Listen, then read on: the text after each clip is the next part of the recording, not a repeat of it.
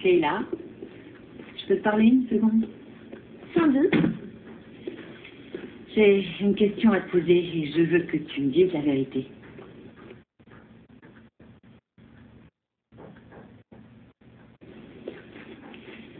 As-tu quelque chose à voir avec l'incendie du restaurant de Rick? Quelqu'un a dit ça? La réponse que j'attends est oui ou non. Je n'ai pas mis le feu. Non, c'est les jumeaux. Seulement ils disent que c'était ton idée. C'était pour rigoler.